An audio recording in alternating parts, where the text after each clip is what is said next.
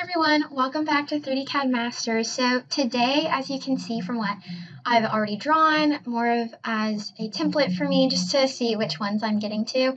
This is our intro to 3D CAD Masters. It's what our professors teach in a student's free two-hour trial session. Um, not only do we teach 3D design, we also teach the kids about the basics of a 3D printer. So how this works, the X, Y, and Z plane, just all those basics, right? And then we also teach them a little bit about circuits and coding as well, um, using Arduino Uno. And we kind of mix it all in just to see if your student is more interested in learning 3D CAD or if they're more interested in learning Arduino. Um, and we do teach both, but we can also teach just one subject as well.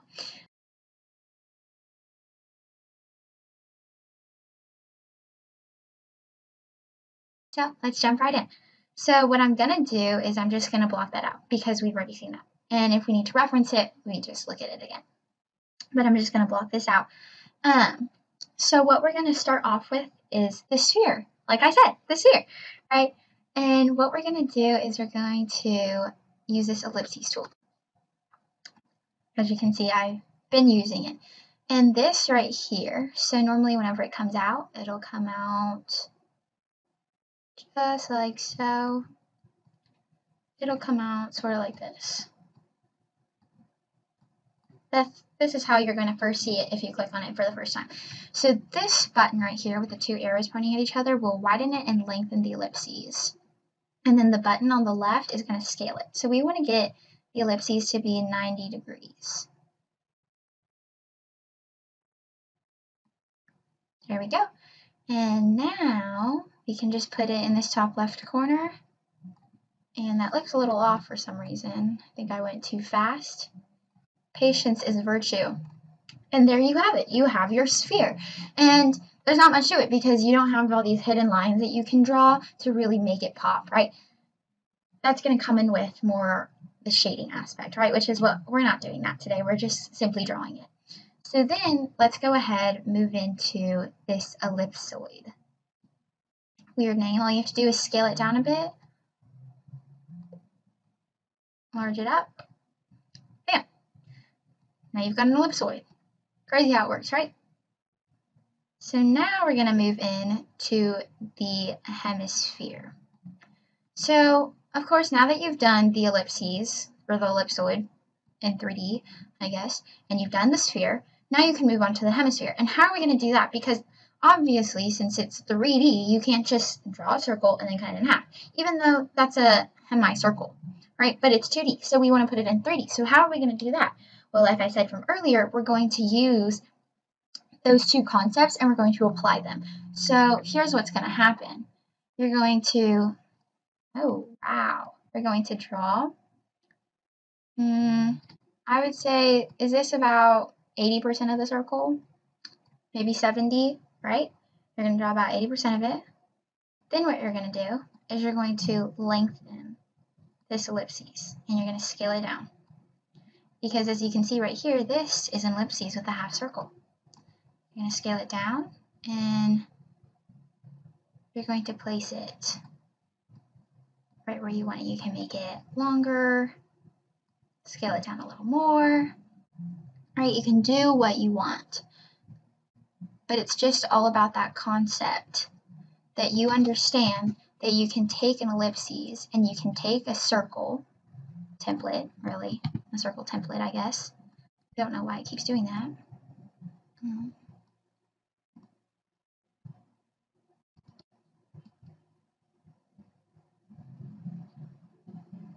There we go. I'm done. Um, so now you've got your hemisphere, right?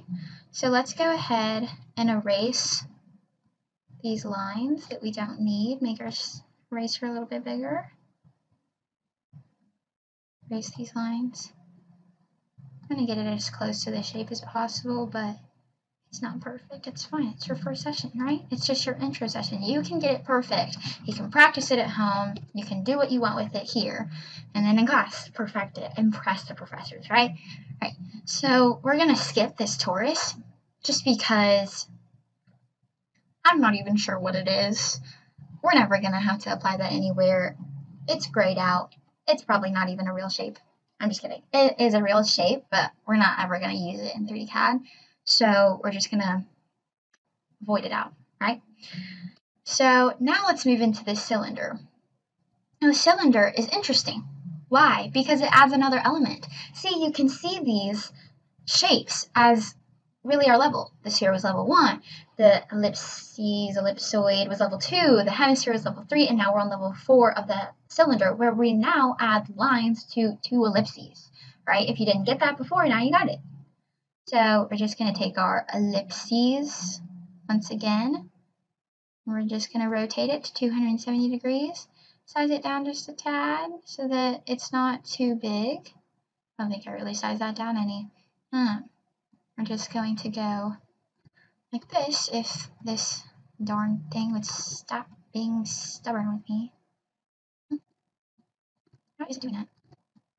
Okay, it's not what I wanted at all. Okay, so we do. We're gonna do half of it over here. Okay, that's working there. Half of it over here. Half of it over here. Connect them. Oh, see what I'm doing? If something doesn't work out, do it again. So I'm going to take this out for a second, but I'm going to keep it as it is. And what I'm going to do is I'm going to drag two lines down from either side of the ellipses. And you can do it the opposite way too by drawing two lines first and then connecting the ellipses. But I figured we already have the ellipses tool open, so why not use it, All right? And I'm just going to go in here. And this part, we're not going to have that line problem again, which was weird. Um, because here's what we do for hidden lines. Ooh, y'all are to think this is fun because we get to apply another color to it. If you can guess what color I'm thinking, you are going to be a great 3D CAD master. I'm to use a light gray just to show that it's not black, right? But it's not some weird red that just pops out, you know? And then once again, we're to go back in and we're going to adjust these lines, delete them, we don't need them. They are a distraction to the eyes of our beautiful cylinder.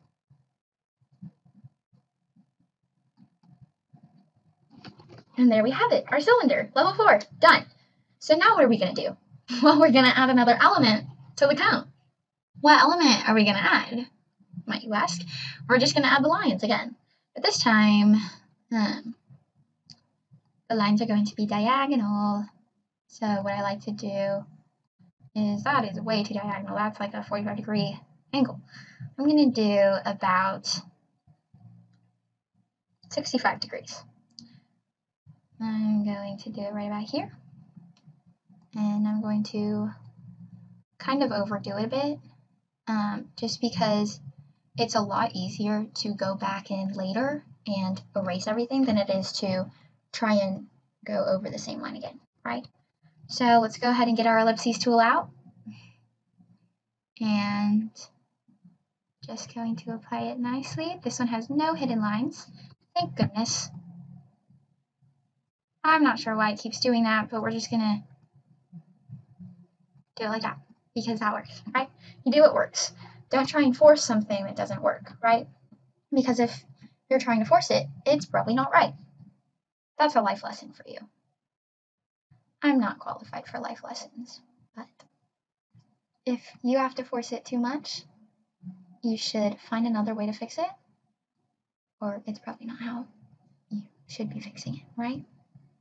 So now we've got our cone after erasing all those unnecessary lines. And look at that. We've passed.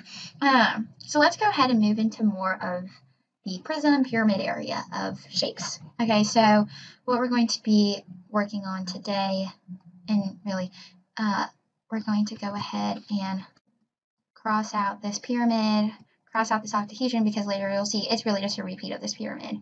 Um, cross out this cuboid, and of course these two are out. They're out.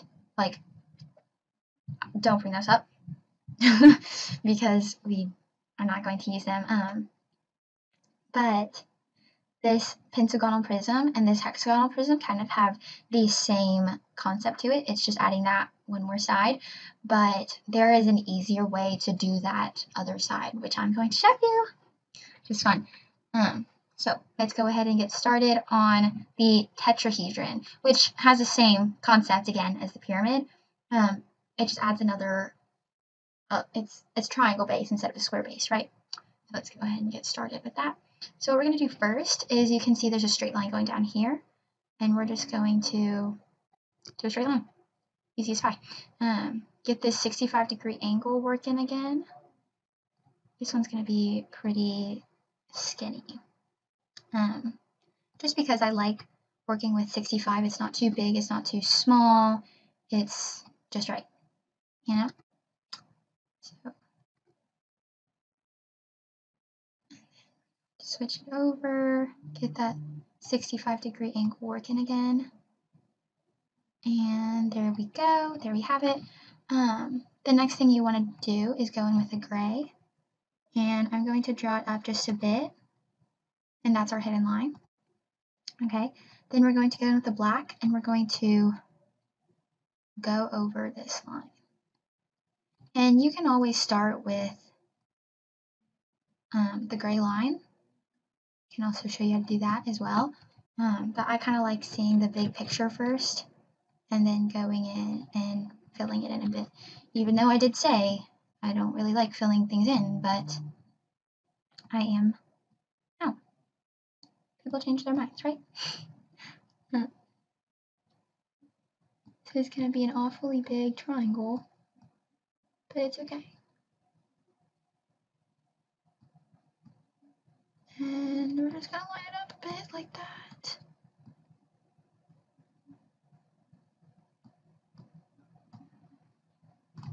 There we go.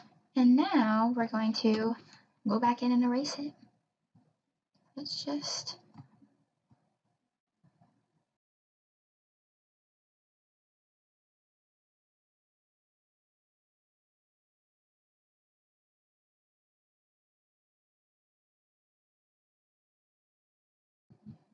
Um, this one's just going to have a, a square pyramid, right? Like we talked about. Um, so what I am going to do for this one is I'm going to start off with our two baselines, which is a square, and then we've got the hidden line square in the back, right? And then I'm going to connect, I don't want to make it too big, I'm going to connect these two with an angle of 40 degrees. Let's do 40. If it'll, there we go. It was just frozen for a little bit. 40 degree angle. Switch my color. And then another 40 degree angle. Now we can get to the actual pyramid part. And going to go back in with the ruler. This time I'm going to make the angle 65. Because it's my favorite number, apparently. Don't want to make it too big or too um, long. But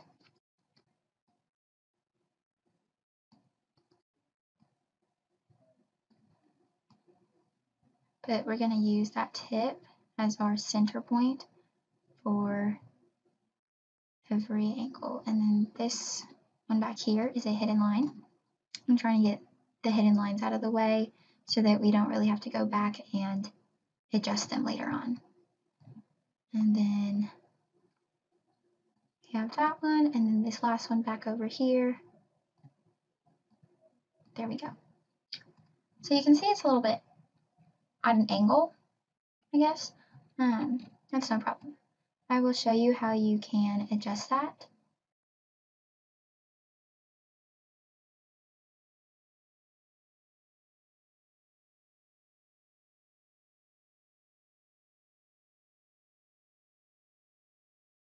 So now that we've got that all figured out, done and dandy, we're going to take this lasso tool and I'm just going to tilt it just a bit so that it's more, it, it looks less lopsided, right? So we're just going to do that and easy, done, simple. Okay. And now let's go ahead and move into the wedge. So this wedge is kind of like a cube split in half. So what I'm going to do is I'm going to make the cube first um, switch it up a bit, right? Um, but this wedge, this triangular prism, this cube, they all have the same concept to it. Um, and what that is, is it just takes one shape, puts it behind the other, and you connect the lines, right? Everyone knows how to draw a cube, right? Well, um, but what I'm going to do for this one is for the cube is I'm just going to draw these lines and they don't necessarily have to be perfectly equal. Um, just because we're just really trying to get a grasp of the concept more than the actual. Okay so what I'm going to do from here is I'm going to make diagonal lines back so that it's more accurate. And then from this line here I'm going to make a straight line down. And then from here goes straight across, just like that. And that's not really how you would normally draw the um, the, the square, but um, that's how I'm going to do it right now, just to save us a little bit of time. Um,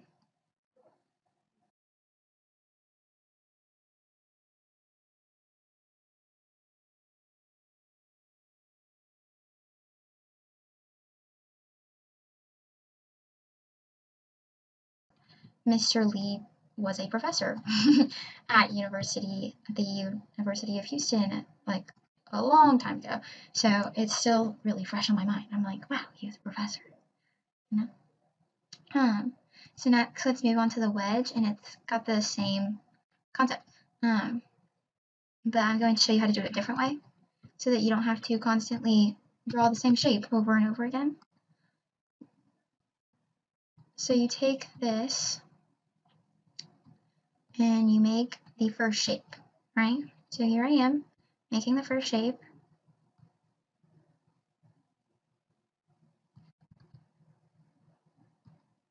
Wow, this one was a perfect square. I'm very proud of myself. Um, so you're going to take it, go like this. You're going to take the selection tool, select it, copy it, paste it, move it slightly behind. Okay, let's space it out just a little more so that I can really show you um, how we do it. So then what I'm going to do, I'm going to take the ruler again, and I'm going to measure one endpoint to the next endpoint to get my edge. Just like that. And all of these are at the same angle or slope. Um, so you can just move it around, connect everything. The little connected dots, right? So that's what you've got, but now it's just really a shape with um, there's a bunch of lines and you it's kind of like an optical illusion. You don't know which way it's facing, right? And that's where the gray pen comes in. And I'm gonna make this slightly bigger than my original pen so that it covers more of the black. Oh, what just happened? Um, actually, we'll just go in and take it all the way through. Go in, take it all the way down. Oh, nope. Um, take your ruler again, bring it back, and hit it with that gray pen. It nice and precise so that all these black lines are hidden. Um, then we can go in with our black pen.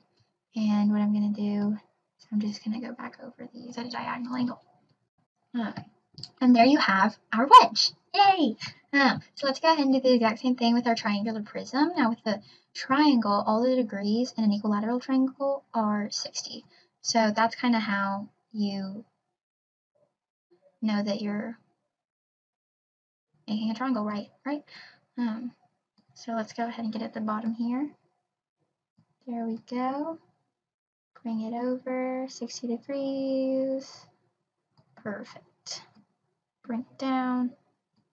And then I'm going to take this out and create a horizontal line. Um, so this one, I'm not really a fan of the ruler just because it does take up so much work for me. Um, so what I'm going to do is I'm going to go back in and erase so that we can duplicate it. And it's just, to me, it's it's a simpler way to go about this process. Um,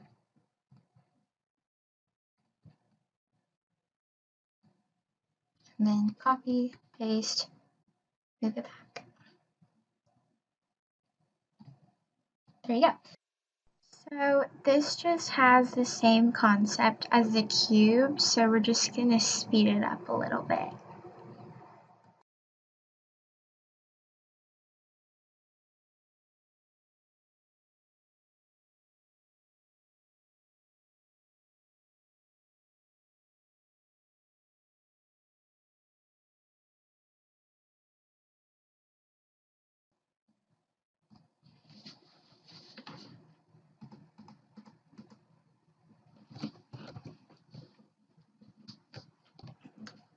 And there we have our triangular prism. So now for this pentagonal prism, um, what I like to do is I like to draw a star.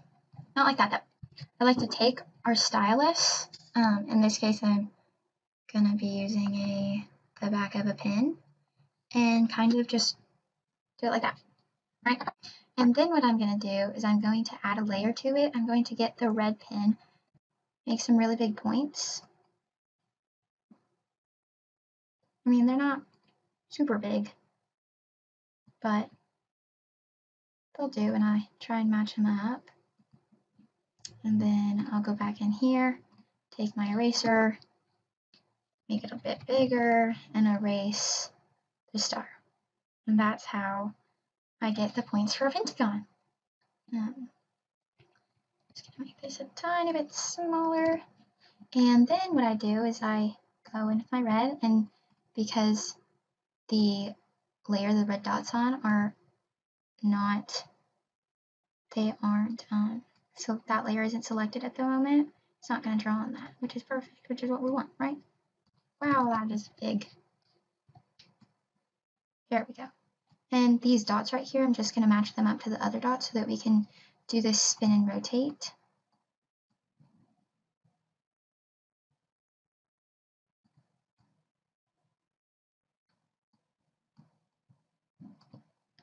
Just like so.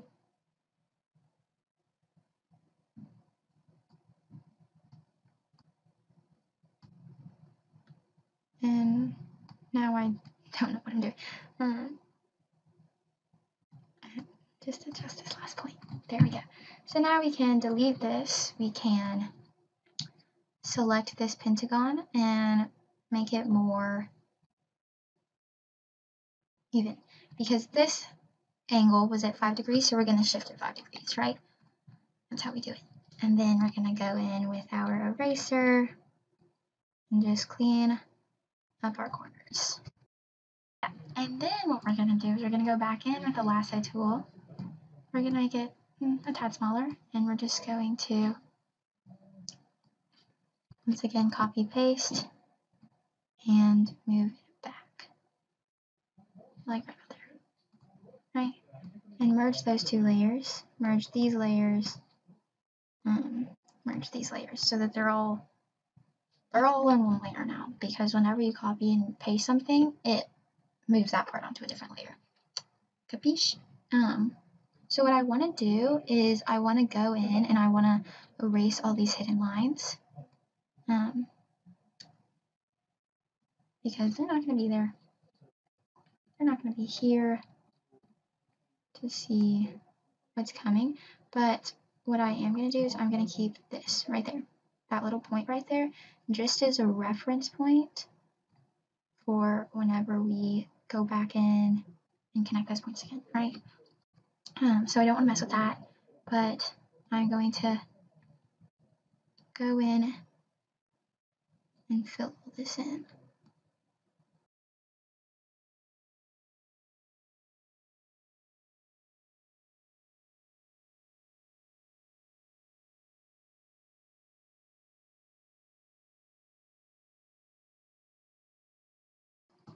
And now I'll go back in to draw the visible lines. That's just how I wanted to do it for this pentagon, just because there are so many hidden lines. Um, but this is our last shape. Thank goodness. So I'm just going to take this moment and talk to you guys about our program again. um, just because this is going to be our last shape because um, we do want to save the best parts of our program for whenever you are taking it. We don't want you to just watch it over YouTube, right? Um, so if you would like to strive for the icosahedron, um, but you're struggling with it or something, um, come to us. Go to our website at the bottom. I'm also going to link it in the description below. Contact us. Um, go to our Instagram, Twitter, tweet about us, spread the word if you'd like to subscribe to us, comment down below what you would like to see from us next about our program. If you have any questions, I am going to post a Q&A on our Instagram just to see what you guys would like to hear about us, right? Um, if you don't know where we're located, we're located on Bunker Hill and Katy Freeway. For more information about our location, go ahead and head to our website and the contact tab, and then it's right in there. Um, we do offer summer camps and year-long classes. Our base fee is $120 and it goes up from that to about $695, but it's really just what kind of bundle package you would like to get. Um, but that's really all I have for you guys today. I just wanted to give you guys an intro on our program. Um, but so, as you can see here, I like to use this shapes list as a way to explain how we've set up our program. So as you can see, it goes from the top left down to the top right. Of course, this pentagonal prism looks a lot more complex and sophisticated as just a sphere, which is really just a circle, right? It's 2D, but we say it's 3D because we are trying to give you that illusion. But really, it's just a 2D circle. It's the easiest thing you can draw. It's a quick circle, right? And then the pentagonal prism has a lot more obstacles to it, right? You've really got to think deeply how am I going to get all the sides to be equal, right? So that's how we've kind of laid out our program. We've made it where you start from very easy, very simple, very straightforward projects and learning techniques to more complex and in depth and more professional, more real life based situations. And it's all about muscle memory, which is what we've implemented into our program. It's all about muscle memory. You go from a sphere and you take those concepts from the sphere and you apply it to the ellipses. You take the ellipses and the sphere concepts and you apply them to the hemisphere, right? And then it just all builds on top of one another. So that's how we have laid out our program for you. And I think that's the easiest way to go about teaching you guys this method of creating a tangible object from just your mind or from just a dream or an idea that really caught you. And it works for engineers, it works for architects, it works for graphic designers, for mathematicians, scientists, it works for manufacturers, anything you can think of. You start from the beginning and you work your way up, right? So that's how we've based it. And we want to start with shapes just because I want you to see how our professors start your sessions. This is what you're going to be doing whenever you come in for your two hour trial session with 3D CAD Masters. And it's really to teach you about lifelong skills. You can't just jump into the icosahedron, right? That's impossible because you don't know how to get the angles right and how to get that triangle in the middle and then each and every triangle lopsided, right? It's just going to end up one big weirdly misshapen object that's no longer an icosahedron. It's just a lot of lines and a lot of shading, right? And this is to kind of grow your interest about our program. It's to see if you have what it takes to take a simple concept and apply it to the next thing instead of just taking a concept, memorizing it, applying it to that same project, and then storing it away forever. You're going to take each concept and apply it to every single thing or the whole entire program. And that's what 3D CAD Masters is all about. So I want to show you guys how to take it from a sphere and ellipses a wedge, a pyramid, a tetrahedron, an octahedron, a cube, like all these crazy types of shapes. And I want to teach you just a little bit about each and every little concept so that you can really get a full idea of it. And then in class, when you come in and you sign up at www.3dcadmasters.com, which is in the bottom right corner at all times, see how I work that in there? Well, when you sign up and you come in or you log on to Zoom for your online classes, this is what you're going to be doing. Thanks for joining us, guys. We'll see you next time at 3D CAD Masters. Bye!